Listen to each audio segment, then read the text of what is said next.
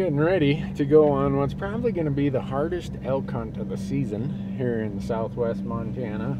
General tag, second week of season, 63 degrees, warm temperature. The elk have already been shot at for a week, so they know season's open. They're going to be way up high, 8,500 to 10,000 feet in the ugly, nasty stuff. And we got to figure out how to find one of them because our buddies Karrson and Sean from Gerber are coming to town and we want to do some gutting and gilling with the prototypes that they have. We'll see. Hopefully it works. If nothing else, it's going to be five days of a lot of hiking and a lot of glassing. Yeah, please. I don't want to carry anything. My name's Karrson Koivisto. I'm a product manager at Gerber Gear out in Portland, Oregon. Been doing it for about eight years. And uh, ever since I started there, I've been just getting more and more interested in hunting. I started there, I'm what Michael calls an adult onset hunter. I started there, I'd never hunted, wasn't part of our family. And within the first four months, I'd bought five guns and was hunting every everything that was in season. You make good products by getting into the field, getting in touch with consumers, and doing the actual activities that that will lead to insights that create better products. I think one of the other mantras we have is um, what is the consumer doing and how do we make the doing of that thing better? So if our consumers in the hunting space are cutting up elk, how do we make the cutting up of elk better? How do we make the butchering process, the field dressing, the gutless method, all of that? How do we make that better for our users? And that's our goal. That's why we're out here. Selfishly, I'm also out here because I freaking love, I love elk hunting. Yeah, I, I don't know. I don't know a better place I could be. I don't know a luckier person that works at a knife company in Portland than myself. I get to be out here in the high mountains of Montana, chasing after these majestic animals and call it work. I mean, that's a gift. So last year in Arizona, Karrson came down and he just wanted to tag along on a hunt that we did with Jerry Pritchard. And this year, Karrson called me and said, hey, I see there's some Montana tags left over. Any chance I, if I were to snag one of them in the leftover draw that we could do an elk hunt? I said, yeah, we can do that. I have an opening the second week of season, but I'm here to warn you. It's the hardest week of season to try kill a bull elk. Last week we were here in Montana and we had guests then, uh, Lucas Burt from Leupold and our buddy Beau Baty from Wilderness Ridge Trail Llamas. And as we were hiking out of that trip, Beau asked me, Randy, who's going with you next week when the Gerber guys come to town? Well, I got Carson and I got Sean from Gerber, but other than that, nobody. And Beau said, well, I'd like to come and help out and bring my llamas and help you with camp. And if you know Beau Baty, when he offers something like that, you take him up on it. We're living big, folks we are living big. Who needs a motel when you got Beau Baty, right? right? Really, folks, the reason Beau is so good at this, he does all these summer pack trips in Yellowstone, in the Frank Church, in Capitol Reef National Park, Grand Teton National Park, the Jedediah Smith, the Wind Rivers. He takes groups of 10 to 15 people and sets up this kind of camp for all of them and he loads it all on his llamas. So for Beau, this is kind of just run of the mill average. And uh, he kept telling me about it. I said, all right, Beau, I want to find out what it's like to come to one of your luxury camps. So he said, all right, I'll be there. I'm, even if I don't shoot an elk, I'm going to gain weight on this trip by the looks of it. So that's something good. As much as Beau being here spoiled me, I'll admit that by the time we're into the third month of the season, I'm really tired of doing all the camp stuff, doing the cooking, all the chores. And so when Beau offered this, I said, man, I can't thank you enough. And I think Beau wanted to get to know the Gerber guys a little bit and he wanted people to understand more about how his llamas worked. And Beau also is a serious hunter. And anytime a serious hunter says, I'll come and be an extra set of eyes and I'll help with all the camp stuff, this time of year, I'm, I'm all ears. So thanks, Beau. Michael, here's yours. Thank you, sir. How nice of you.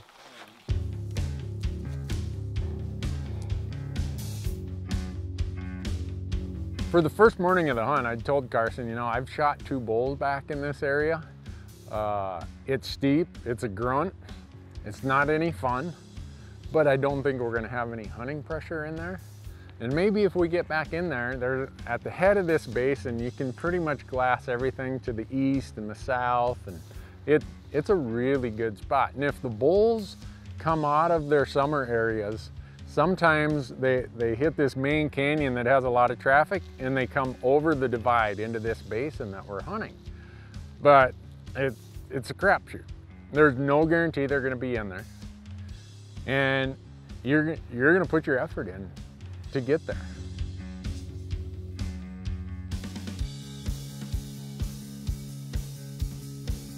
Because the season's been open for 10 days and it's the post rut. These bulls have figured out that it's hunting season and they're way back at the head of these drainages.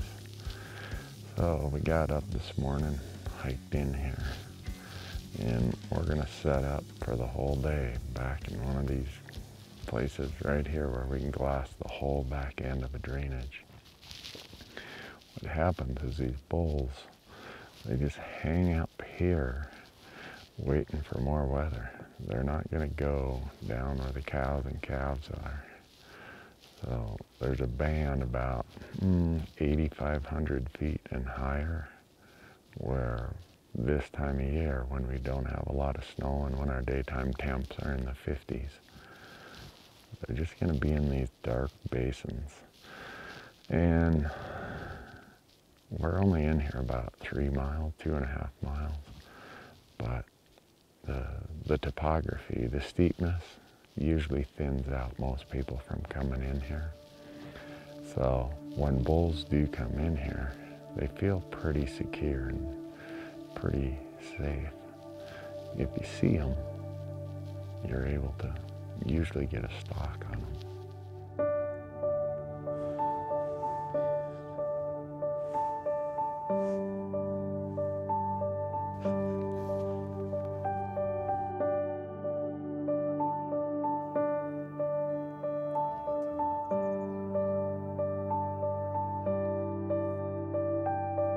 We spent the whole day glassing. And I know some people are gonna say, gee, Randy, maybe you should have kept moving and kept moving. No. This post-rut period, this late season period, these rifle hunts that we have in the Northern Rockies in this late October, all in November, it's a glassing game. You are just picking apart every little piece you can. You know that those bulls come in there and they just stay there. And if you want to go into those areas and try bump them out of their beds, well, you'll probably bump them out of their beds. But the odds are you're not going to get a shot. So that's the strategy is just glass and glass and glass and glass. And the beauty of having multiple people is you can kind of take shifts. Someone can take a nap while everyone else is glassing. That person gets up, they glass, someone else takes a nap. And you'll see it a lot of times in our footage that when it gets cold and windy like it was on this day, we build a fire and just glass right from the fire. There's no reason to stay there and freeze to death. You'll get a feel for how high up we are because we're seeing mountain goats.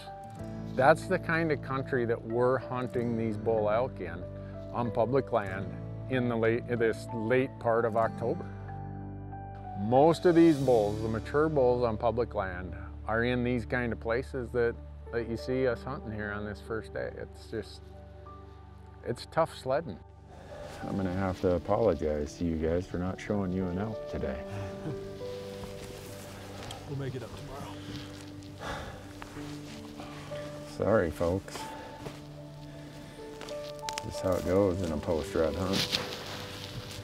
Takes a lot of looking, a lot of hiking, and a lot of luck.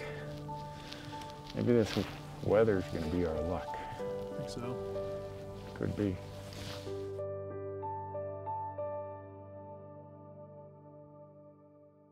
Well, after the results of the first day, I kind of knew, all right, that basin Doesn't have any elk in it. We haven't had enough weather to really push anything. I'm gonna go to the next spot. And in this spot, I've also shot an elk. And it's again, another one of those climb up a really steep ridge, get up there and glass.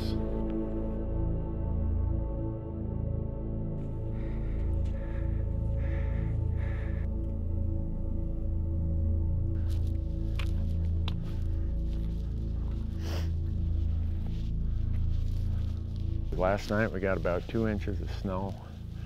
We need about 10 more inches to really get the elk to start staging closer to their these trans these transition areas that I hunt.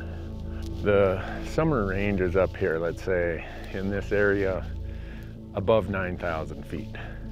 Their winter range is down here in the valleys, let's say five to 6,000 feet. The transition range is in between and it's got these differences in steepness and topography. Just about as soon as the first snow comes, the cows, calves, maybe even some younger bulls are gonna be down in the lower half of the transition range, closer to the winter range. The old bulls on public land, they come down last. When we have as little bit of snow and the warm temps we've had for the last 10 days, they are almost on their summer range or just off it. That's how high up they are. What happens is it's not like these bulls get a bunch of snow and they just go to the winter range right away. They come down and they stage in certain areas in the transition range based on the cold, the snow, the hunting pressure, other things. Hunting pressure will keep bumping them back up. Well, right now, day 12 of our general season or whatever it is, warm weather, no snow, has the elk bumped way up to the top of the transition range. If we were to get a foot of snow, it'd bring them down here, kind of in this band we're at, 8,500 feet here. We're at 8,500, we're glassing peaks that peak out, I think, 10.2, 10.3, something like that. So we're glassing where they're staging right now. It's just, whether or not they're gonna step out, whether you're gonna see one of them. And I mean, when you see some shots of this country, it's rough, ugly, nasty stuff.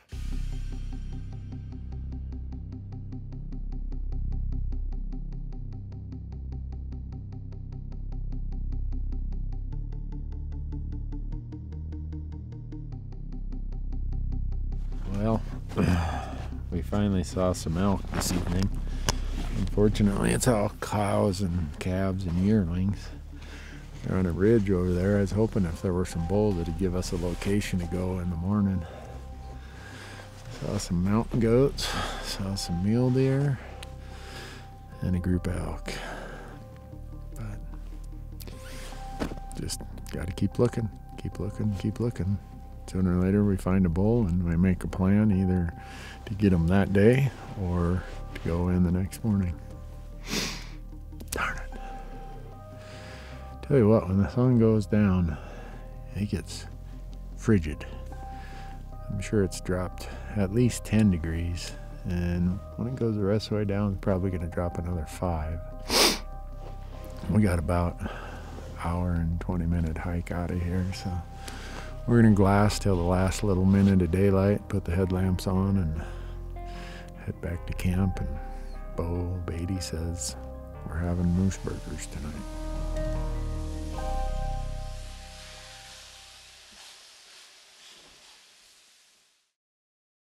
I know Karrson and Sean are thinking, is this what we're going to do every day? But there was some method to my madness. The method to my madness was to determine if the elk had crossed the divide and come over. If they haven't crossed the divide and come over, which it appears based on the first two days that they haven't, then we got to go hunt where the elk are. We got to go over on the other side of the divide. From our camp, it's a big long loop to get over there. You either go around that way or around this way. But that's got to be where the elk are. If they're not on this side, that means the weather hasn't been enough to push them yet. The good news is, looking at the forecast, day three supposed to bring us some weather.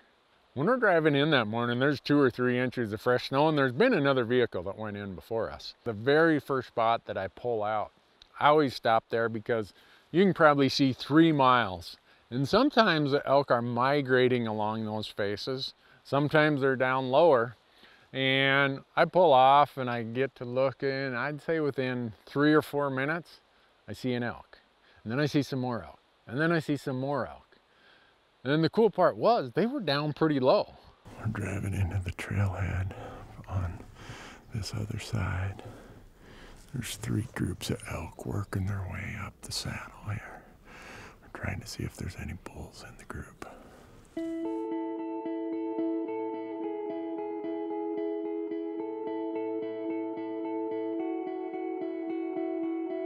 I think most of the elk have bedded, which is normal. The sun's about above the horizon, so what we're gonna do, go up to the trailhead, figure out a plan to get above them for the day and wait till they come out.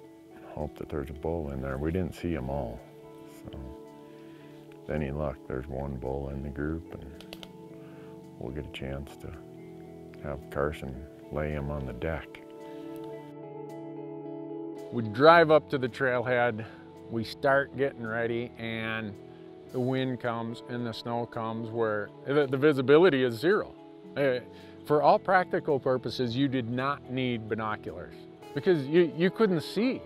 It, it's blowing snow. It's almost like a mist of fog mixed with snow with sleet. And so I told Karrson, I said, you know what? Until this clears, we're just gonna have to wait it out.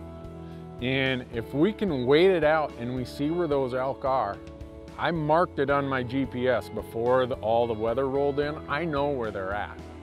But we got to make this great big loop to get to them. As soon as that fog goes away, I'm gonna shoot the giant 7x7 that's sitting right behind that tree.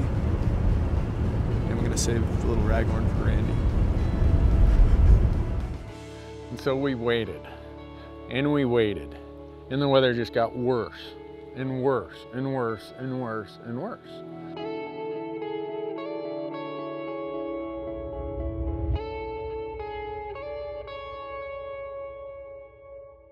I felt bad for Karrson because we'd spent the first two days looking for elk and didn't find any. And now when we finally found them, the, the weather gods decided, you know what, Karrson, today's not your day either. Uh, there's nothing you can do. I've tried to go in on elk before with zero visibility. When you have wind swirling like that, when you have all the things against you, you're, you, you're just, you're gonna waste your opportunity. The best thing we could do, as hard as it is, the best thing we could do is just wait it out and come tomorrow.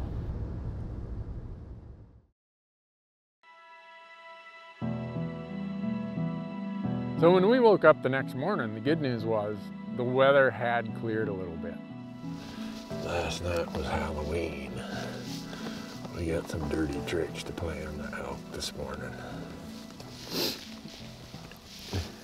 You ready? Absolutely. Michael, you ready? Yep.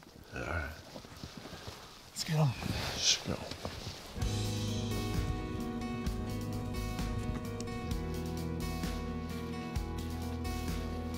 We no more than started up in there. I think we had, our loop was gonna take us a little over four, four and a half miles to get above them. All of a sudden the wind is howling and the visibility is shutting down. And to complicate it, we get about a mile, mile and a half from where I wanna be. And we're walking down the trail and I look in the snow and I look at Beau and both he, both Beau and I spend a lot of time in grizzly country. And instantly we're both like, I know what that is. That's a sow and cubs. Uh, yeah, one, two, three, four bears. And one of these are not. This is the sow right here, the bigger one. We can't tell which way because the wind and snow has blown them in this morning when it snowed. So the question becomes, have we already walked past them or are we walking into them? Not what I wanted. We'd already went this far, so I told the guys, look, we're just gonna be cautious, we're gonna be careful, we're gonna make a little bit of noise. I think we got on their trail. I think they're already up that way. We're just gonna be careful because the sow and cubs has a small home range. They're probably within two or three miles of wherever we're gonna be. We're just gonna keep our head on a swivel and make sure we don't do anything stupid.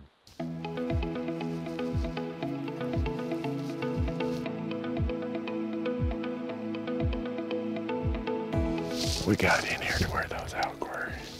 Yesterday we made a big loop around them. We know that they haven't got out of here. We would have seen their tracks in this fresh snow. So we gotta wait for this fog to lift. You can't see. 100 yards probably. So we're gonna go over into these trees, build a fire, get out of the way and wait for the fog to lift. See if they're still here.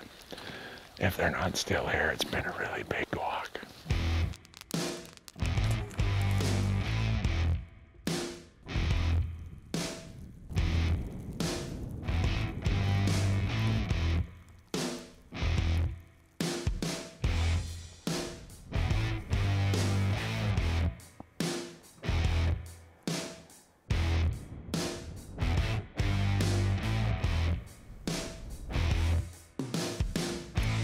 Well, unfortunately, we never had visibility of more than 200 yards.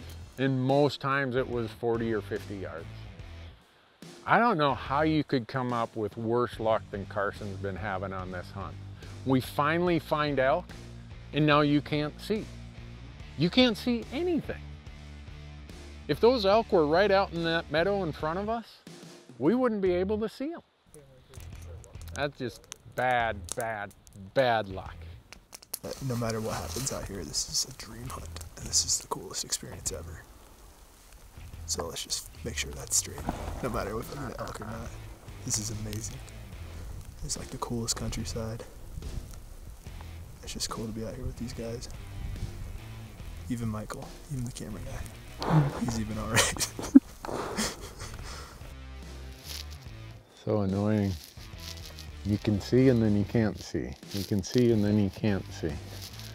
I still haven't been able to see more than 200 yards today.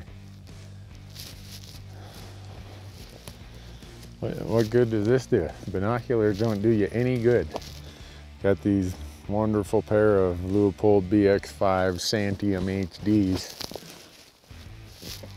They are not able to see through fog like any binocular can. I don't know what to do. Once again, we finally see another mountain goat. Uh, The wind blows the clouds out and we, we see this little bit of a ridge up above us. And I thought it was a grizzly bear at first. I've never seen a mountain goat that was that brown in the back. Then it turns and walks along this ridge and you could see it was a big old billy. He just a dirty old billy. I'd say we got about hour and a half to two hours out. So we got about an hour and 45 minutes of shooting light left.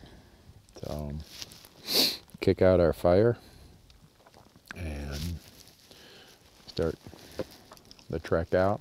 Hope we hope we don't run into any grizzlies and uh, hope we find a bull elk for Karrson to shoot.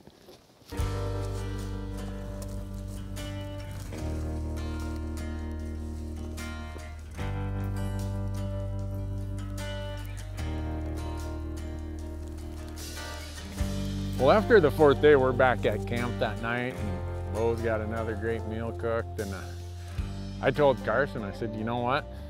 I, uh, all I know to do is go back around the other side and hope for some visibility.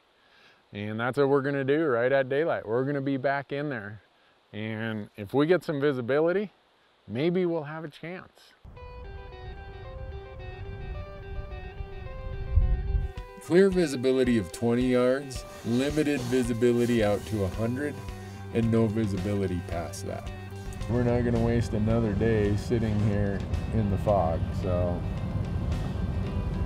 we're going to find some elk somewhere else.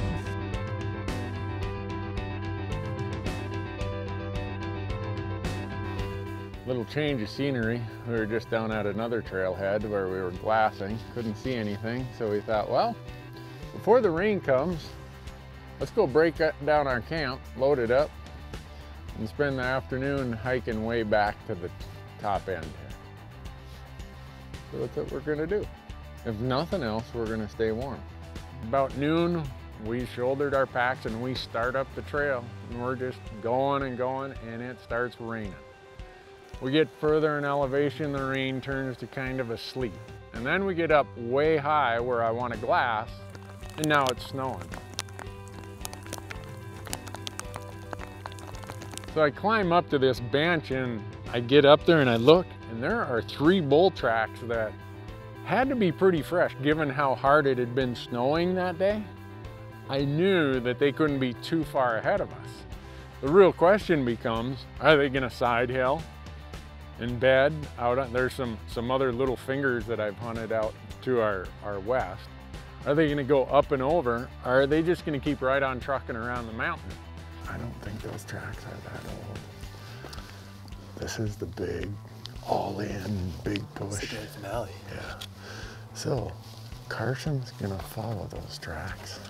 Michael's gonna be right behind him. And those tracks are gonna take us, hopefully, downhill. Because if they start going uphill, I'm turning downhill because I know what it's like here to get cliffed out up there. And, uh, who knows? But right where my trekking poles are, that's where they walked out. So.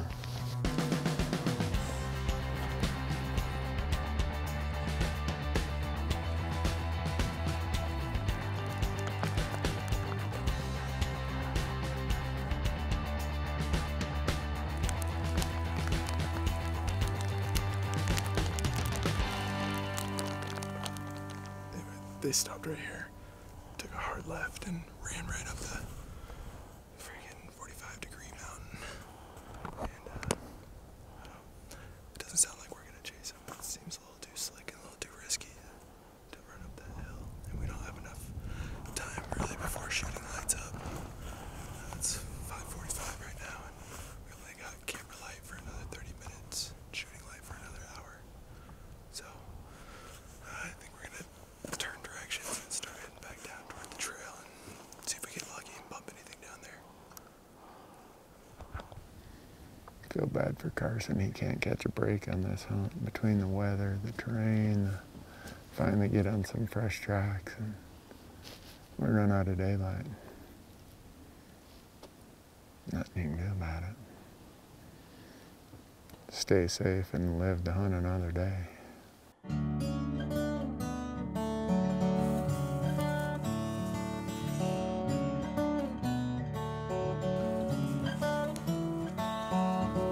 Sometimes you go and the very first morning, there he is, boom, you shoot him. It's like, I didn't deserve that elk, but I'll take him. And then some days you go and for five days, you work your butt off. You face terrible conditions, maybe you face a bunch of hunting pressure, whatever it is, you feel like you've earned it and you deserve it, but there's no justice in hunting. I know this, anyone who hunts as hard as Karrson does and has as much energy as he does, they're sooner or later gonna get their opportunity. And once it happens, it's gonna seem like, well, it wasn't that hard. Why, why did it take, why didn't this happen every trip? If Karrson ever comes back, he certainly has earned an elk with this trip. I hope the next time he comes to Montana, there's a really nice one standing right at the trailhead, slightly uphill, about 200 yards from the road. Boom. He'd deserve it. And this was a classic example of how a post-rut hunt, how hard hunting can be in late October on public land, especially the second week of the season when there's already been a lot of hunting pressure. You really, really gotta work at it and you need a little bit of good luck.